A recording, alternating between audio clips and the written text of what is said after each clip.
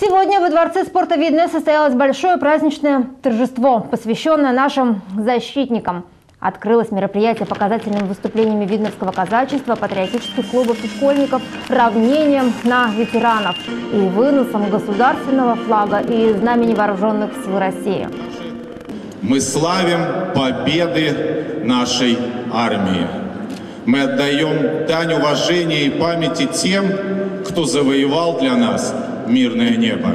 И сегодня в нашем зале присутствуют наши уважаемые ветераны. И я хотел бы, чтобы мы им отдельно поаплодировали. Ветеранов войн во Дворце спорта встречали задолго до начала торжества. Тех, кем гордятся земляки, поздравили активисты молодежного движения.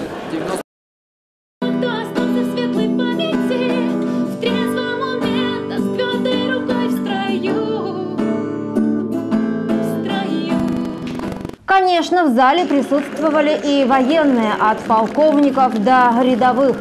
На сегодняшнем этапе развития истории нашей страны очевидно, и история нам вновь доказывает, что у России только два надежных союзника и верных союзника.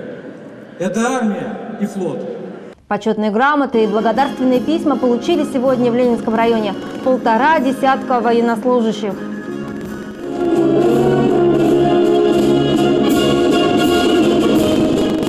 Большой праздничный концерт продолжался несколько часов. Для гостей в фойе развернули обширные экспозиции. Их подготовили военно-спортивный клуб «Ратник», патриотический клуб «Вятичи», историко-культурный центр и учащиеся детской школы искусств.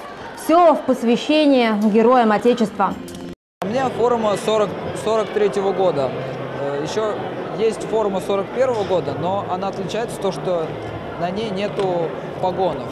То есть на, на моей форме э, на значках видно то, что ну, солдат был ранен легким ранением и тяжелым ранением. То есть еще в начале войны еще и была гвардия, была восстановлена.